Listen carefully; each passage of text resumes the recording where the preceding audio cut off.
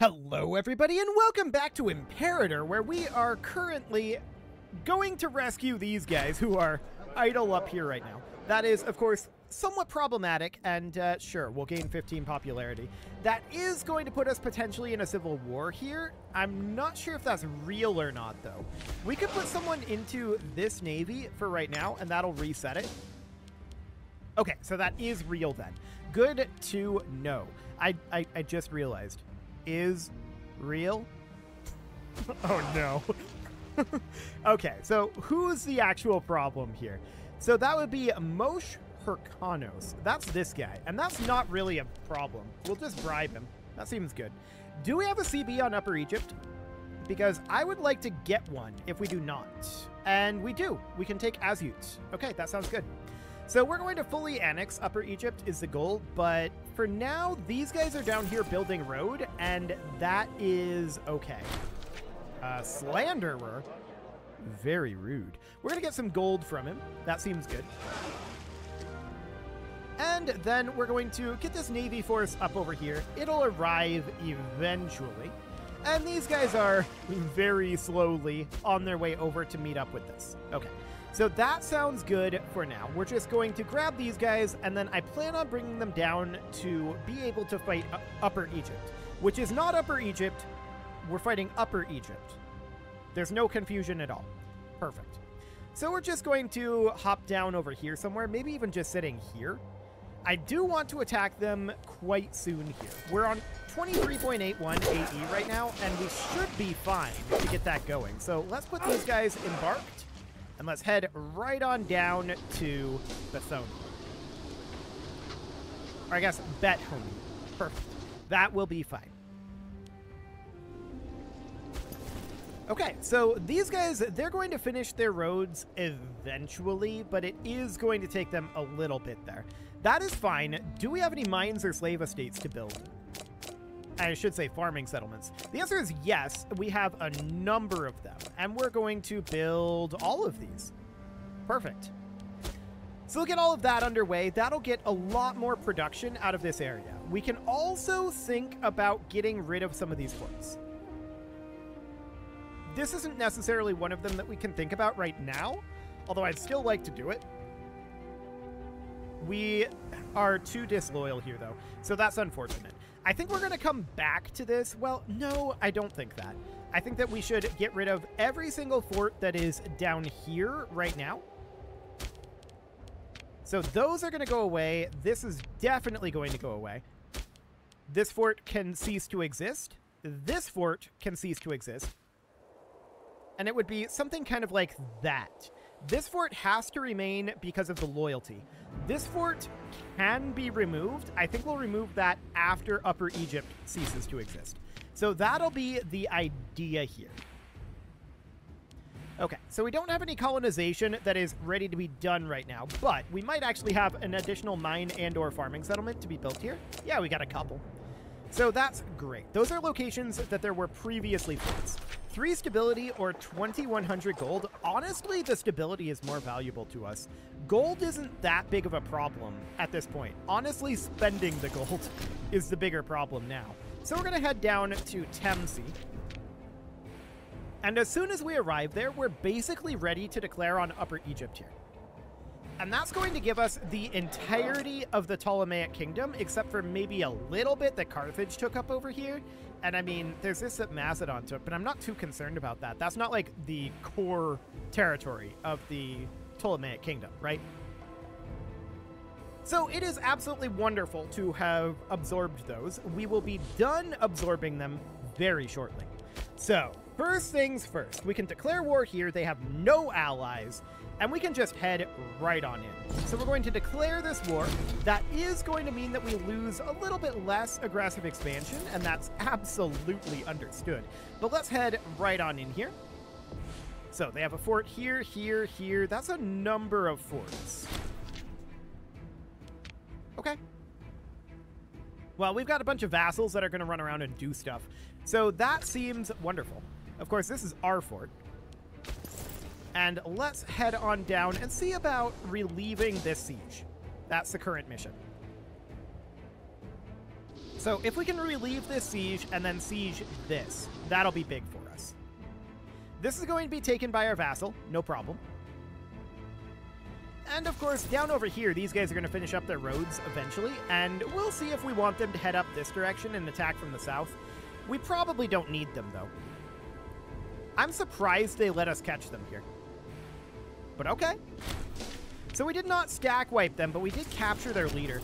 Let's see if they're retreating to their capital here. No, they're retreating beyond it. Okay, that's fine. We can't push beyond this at this moment, but that is absolutely no problem. Cool. So let's get Upper Egypt fully under our control here. This siege is going to take a little bit, and our vassal... I would like it if they'd cap this. And then all of them just pile in up here and start sieging here.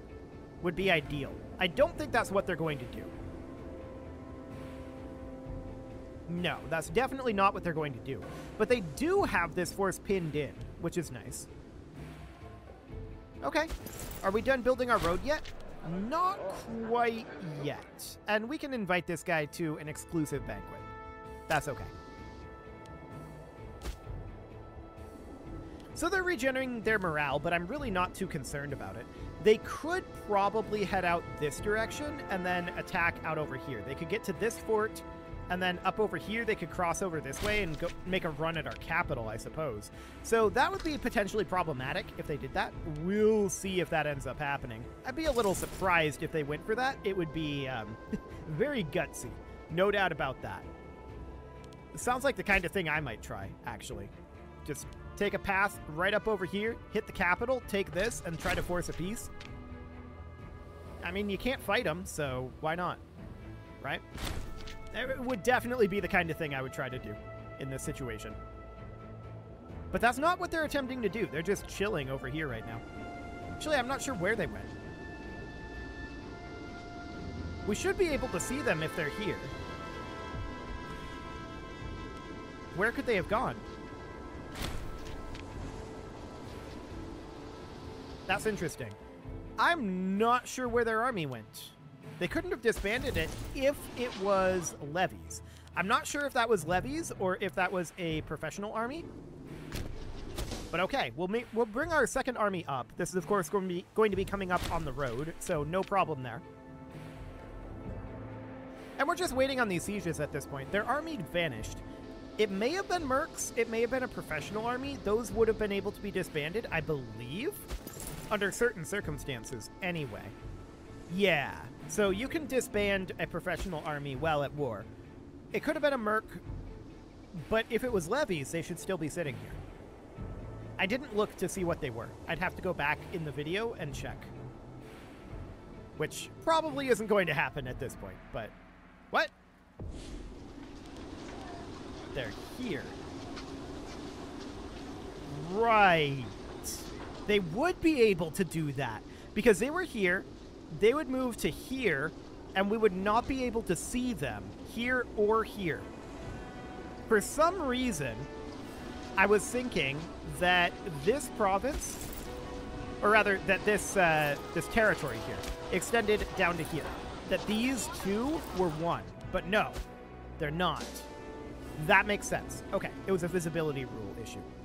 Cool. So that is fine. They can come up here and go for this fort, but that won't get them anything.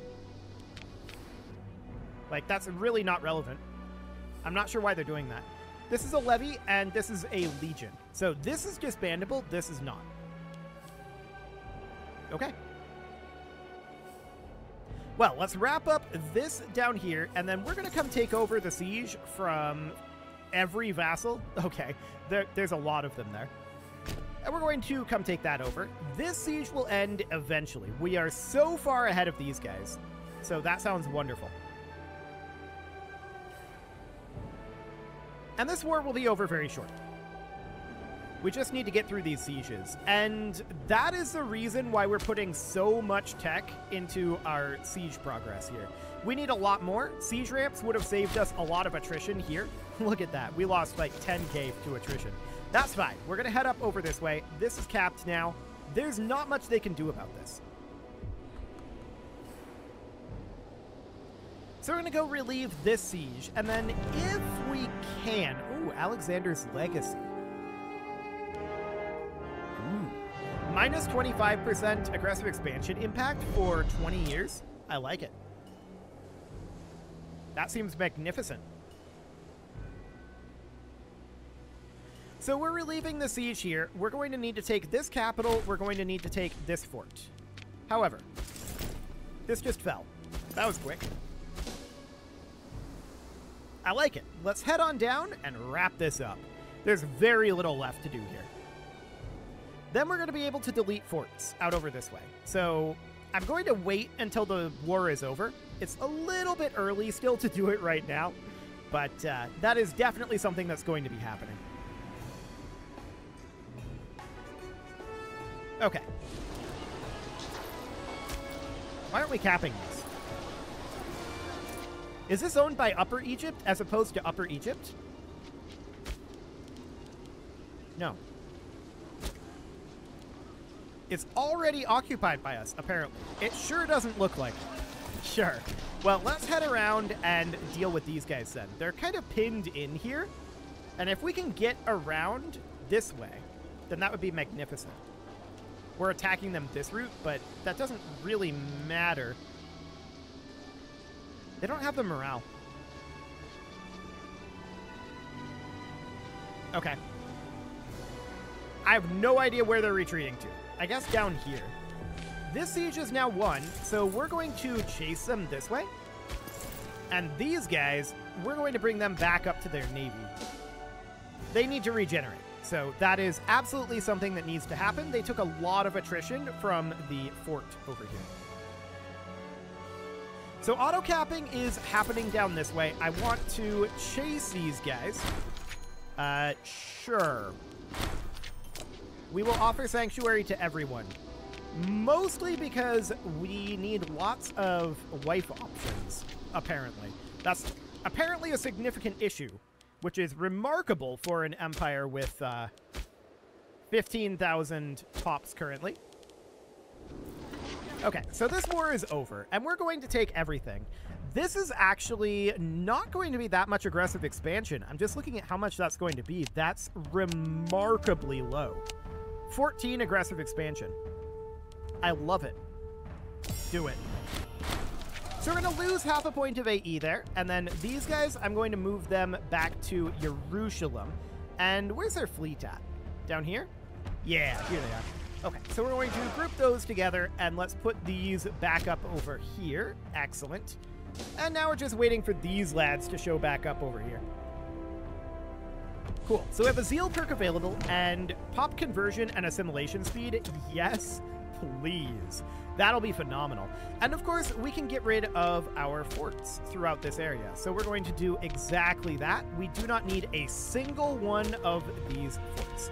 If enemies start running around in our territory, we're going to have problems. The idea is that we prevent them from running around in our territory by always being the aggressor. That's the idea here. We don't want to be the, the defender when we're this size. Unfortunately, we can't remove these fort this fortress here. It's still not loyal enough. It'll get there eventually, but as of right now, that's not an option. So I'm just checking through the rest of Arabia here quick. Yeah, these forts are fine. I want to keep those there for the moment. This fort is a good choke point. I'm still okay with that one. Do we want these forts in Memphis? The answer is no.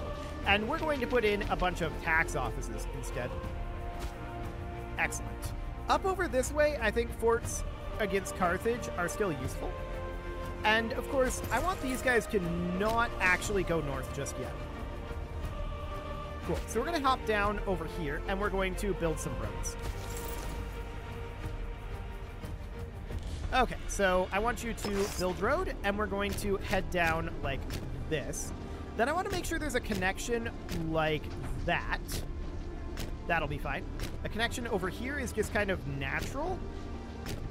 But we can also do this, and then head up this direction. So we would want a triangle structure here. This would connect in down something like that. A connection here would make sense. And then we would come up this side of the Nile here, connecting in something kind of like that. There's a natural crossing here, so we will get that going. Head down this direction and connect it in here. Then down over this way. All of that would connect up over like so. A connection here. I do think a connection back here makes a lot of sense. And then up this direction. Natural crossing here. And that would connect there. Okay. There's already road out over here. I just wanted to make sure that was connected up. And then we come down this direction. And we need to follow this natural crossing and just connect down like that. That would be the road path. Yeah, that's going to take a while to build, but that is fine. They can be at that for now. So here, we are taking attrition. I want to embark them. And we are going to sail up to here. Now, where's that fleet at? They're here currently? Okay, I'm going to put them in the port. So that looks good for now. I do want to build mines and farming settlements. We do have a number of those that we'll be able to put in. In fact, quite a large number. Excellent. We'll get all of that developed up nice and quickly. Perfect. And then we could start thinking about filling in some of these with, you know, like just slave estates or whatever. It's not going to be significant. So I probably am not going to bother with that for the time being. Yeah, probably not. The slaves of Gabal are revolting. I mean, I agree with that. They're very revolting. This rebellion will be crushed. Luckily, we have our soldiers right here. So we're just going to head on up there and eliminate them with no problem whatsoever. We're basically right here. Are we going to swap positions? No, we're going to fight there. Okay, so we beat them. But we didn't stack wipe them. Let's beat them again now that they have absolutely no morale. And yeah, they're, they're just gone. Fantastic. So that slave rebellion is dealt with. Perfect. So we're going to head back to Jerusalem here. And let's get these guys drilling. There we go. Now, of course, we can spend money on cities. That's a very simple thing to do. We can definitely invest our money in this way. So down here, we would need a tavern. Sure, that seems fine. Here we're maxed. Here we're maxed still. What do we need here? This would just be a tax office. Okay. Here we could definitely put in a forum. This needs a lot of work here. Okay, so this would be a freeman city, which is also kind of a slave city. And we're just going to do something kind of like that. There we go. That looks good. We've got 479 gold still, so we'll put in a tavern over here. What's in this city? Yeah, this looks decent. We could definitely put in a tavern there. Five stability. I mean, sure, we'll take the stability. That seems fine. We do have a fair amount of aggressive expansion at this moment, which is not not surprising. That that tends to happen a while, or rather, that tends to happen fairly frequently. We produce pearls here. Okay. We'll put in a foundry, and I'm a little concerned about our funding, considering we are doing road build down over here, so I'm not going to get too much else building right now. We'll just save up our money a little bit. And, I mean, that's a lot of construction. No doubt about that. That's going to be a bit. Cool. So that is the Ptolemaic Kingdom at this point, basically fully under our control.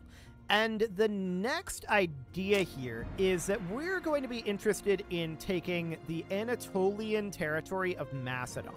So the question is, where do we draw the line? And that would probably be in the Hellespontus Sea here, is my guess. We would consider this to be an outcropping of Greece. This over here we wouldn't necessarily be interested in, although Byzantion would be interesting to take. It's not very large in this era, to be clear. Byzantion is not... It has not been developed very much. So that is, in this era, not the largest of priorities.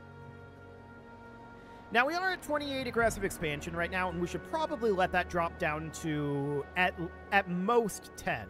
Like, we would like it to go a little lower than that, so that probably means at least an episode of Chilling is my guess. Because is going to be one, two, three, four, five, six, seven, eight, nine, ten, basically 11 states, right? That's going to be significant in terms of aggressive expansion. That might be too much. We might not be able to take that all in one war. Let alone also vassalize Macedon, which is the idea, I want to point out. I, I want to remind everyone of that. By the way, Arados, back under control. So that's wonderful. Do we want to remove any forts up here?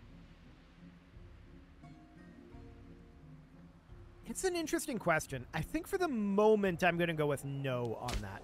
So with Arados having been taken over, looks like we did get the mines and farming settlements accidentally. That seems wonderful. What's our pop at now? 15,885. Compare that with China, who has expanded a lot and is continuing to head this way. China's at 14,790, and Tamilakam is at 11,713. Rome is at 8517. So Carthage is at 3466. So we're absolutely the big boys at this point, which is kind of wild, to, to be honest. I, I didn't expect that to happen. That's insane. But if we tried to fight China or Tamilakam, things would be awkward for us because they're going to have a trillion tiny little armies and we would struggle to deal with that. So we would prefer not to fight them. We'd rather expand out this direction and expand to the west, taking over territory out here and maintaining buffers between us and the bigger guys. So like Gerrha here would be a decent buffer at this point. It's definitely an interesting thing to think about. Well, we'll see what that ends up looking like later on.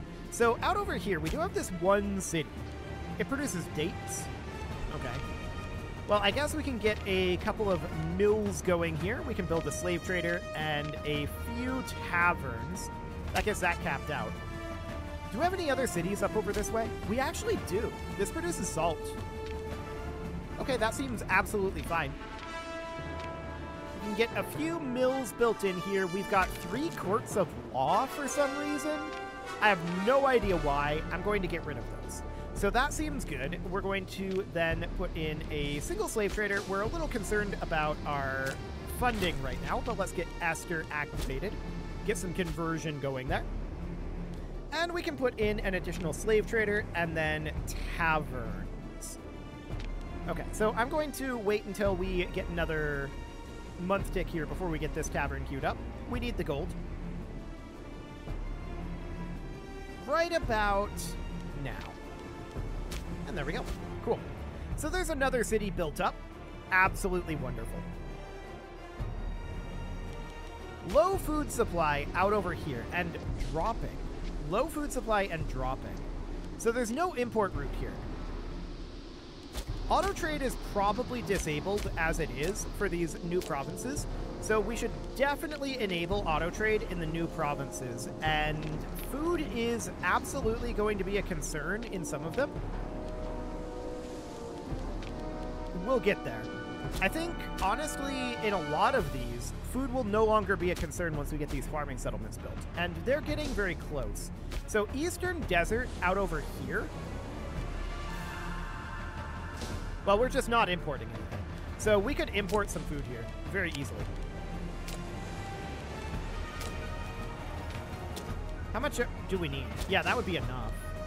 And then Eastern Desert is positive and North Phoenicia is positive. Perfect. So that looks good. Neither of those should have any food issues for the moment, anyway.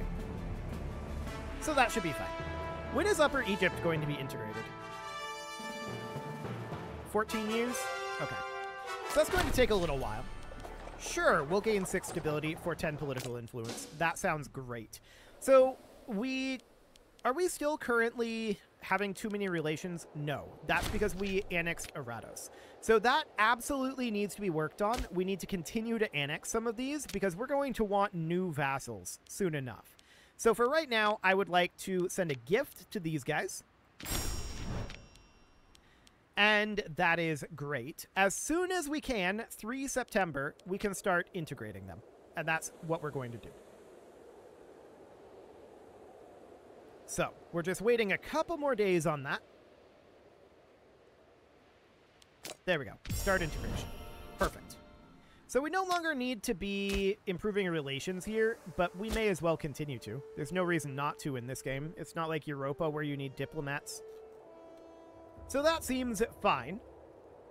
And both of these eventually will be ready to be integrated as well, but we're not quite there yet. Parfara will actually be done fairly soon. In four years.